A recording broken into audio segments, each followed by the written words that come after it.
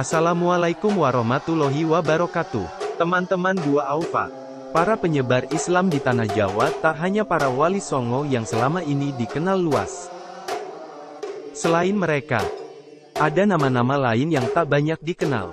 Seperti halnya Sunan Pandanaran, Sunan Bayat, Sunan Geseng, dan masih banyak lagi. Di Rembang, ada seorang penyebar Islam bernama Sunan Langgar. Berbeda dengan para wali yang lain, Sunan Langgar konon merupakan seorang wali yang tidak ingin diungkap sejarahnya. Makamnya berada pada sebuah kawasan perbukitan Desa Langgar Kecamatan Sluke, Kabupaten Rembang, berdampingan dengan makam istrinya, Siti Sulastri. Juru kunci makam Sunan Langgar bercerita bahwa ada sejumlah versi yang menceritakan asal-usul Sunan Langgar. Versi pertama mengatakan bahwa dia merupakan salah satu tokoh yang menjadi bagian dari Wali Songo tapi tidak ingin disebutkan soal jati diri dan perjuangannya dalam menyebarkan ajaran Islam. Sementara versi lain menyebutkan bahwa Sunan Langgar adalah murid dari Sunan Bonang, yang kemudian menyebarkan ajaran Islam di daerah Langgar dan sekitarnya. Tak ada catatan mengenai kapan meninggalnya Sunan Langgar. Sementara versi lain menyebutkan bahwa Sunan Langgar adalah murid dari Sunan Bonang yang kemudian menyebarkan ajaran Islam di daerah Langgar dan sekitarnya.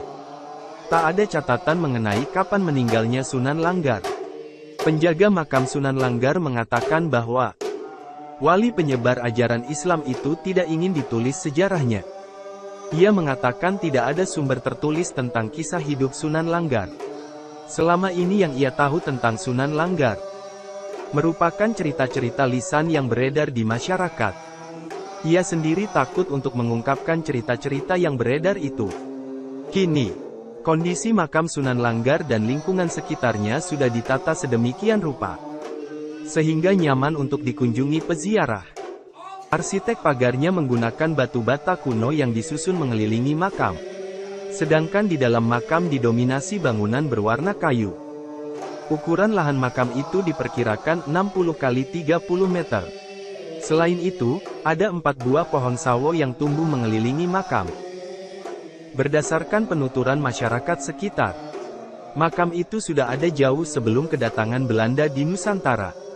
Teman-teman dua Alfa, itulah sekelumit tentang keberadaan makam Sunan Langgar di Kabupaten Rembang. Akhirul kalam, wabilahi taufik wal hidayah. Wassalamualaikum warahmatullahi wabarakatuh.